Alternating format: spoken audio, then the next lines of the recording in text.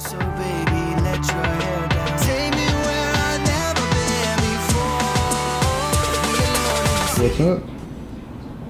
What are we doing? Yeah. We are going to go and talk to Peter Gago. He's the chief winemaker of Penfolds. I'm going to talk to him about how he's feeling. So I'm going to talk about what this means to him. You know, is this a milestone in your career? This event, this launch, is probably the biggest thing that Penfolds has done in many years. There have been a few milestones, a few wines created, a few things that have happened for Penfolds that have been really, really big deals. But this is a very unusual, interesting, monumental piece of history for Penfold and, and for, I would imagine, for, for Peter. I just wanted to sit down and talk with him and see you know what does it feel like to be a piece of such a big history? Because penfolds is it is the biggest most iconic wine brand in australia and in the world. What does it feel like to not only be a part of this but to spearhead and to be in charge of this and to be the be the name and the face that people are going to remember when they think about about this big release? And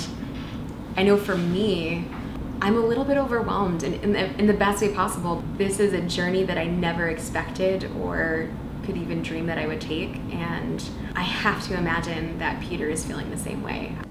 So, Peter, thank you so much for sitting down with me. We alone in the city. So good, so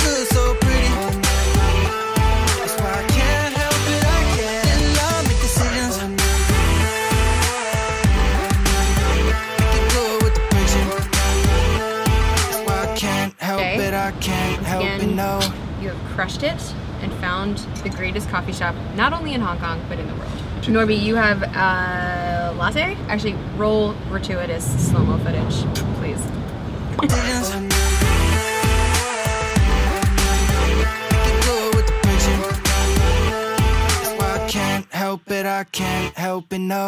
This is delicious. This is an old fashioned co- coffee old coffee old fashioned with caramelized orange, house made bitters, and grapefruit. Actually, you should try this. Uh, you should try this also because we need to explain how this works. So this is coffee. This is coffee, spherical ice cube, and then they gave us this milk on the side to pour over top of it. It just melted. Oh, that's brilliant. This is the, I don't even know how to explain this. Like not even close to being It's like a cocktail.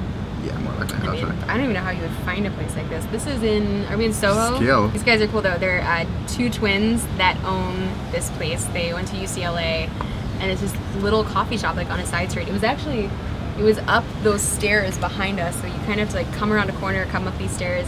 It's hidden up here, but it's really, really cool inside. This is probably the best coffee I've ever had, or at least the most interesting. That's that's a statement. I like that. I've Wow. never had anything. It's almost it's like drinking a, a cocktail but without booze, which at three o'clock in the afternoon is actually kind of nice. Soho is more of like that, more like Soho in New York. It's a little cooler, hipper. It's where some of the shopping is. It feels more hip. Feels more trendy. It feels younger. It Doesn't feel so. It's like mo- so movement, movement everywhere. It Feels like people live here. It feels like this is where everyone kind of congregates. It's crazy because the city is so big and it looks very busy and it's chaotic and it's hectic.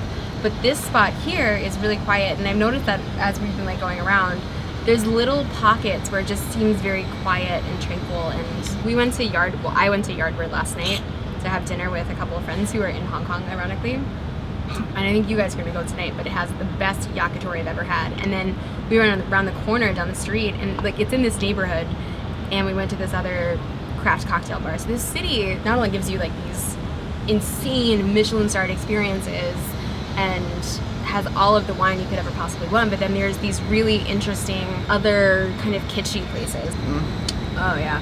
Food arrived. Oh yes. Uh-huh. All right, let's eat before it gets cold. All right. Rolling.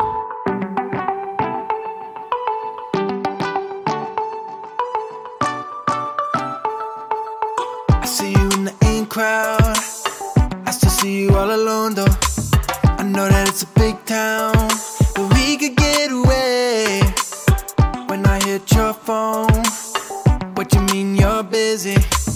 I know we got something going on. I just wanna show you, I just wanna know you. I can't wait much longer for you. Won't you take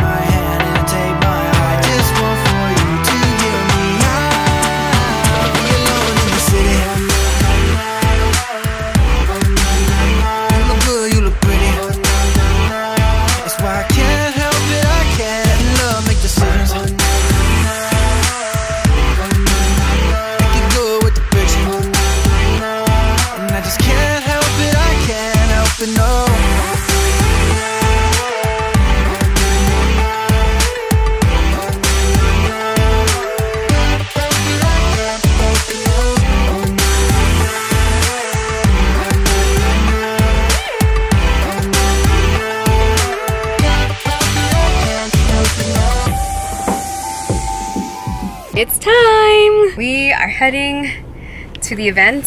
Norby's finishing an edit. It's been a little crazy trying to get ready in a short amount of time, but thankfully I had that glam squad to kind of take care of business. Now we get to finally have a little bit of fun. We get to do the reveal. It's very exciting. A little sneak peek, you think? Oh, Norbert. You are truly a talented young man. You want to see the full video. The full video will be out later, and there's lots of Instagram posts, as always, which I hope you follow me on Instagram. Gotcha. Woo! All right, here we go. Why you watching the ground? Why you acting so nervous? Do you feel it now? Because I can't let it go. You're on my brain, you're on my mind. This could be what we've been trying to find. Cause every second I'm not with you. I be thinking about you, dreaming about you, thinking it's our time. We've got nothing to lose, so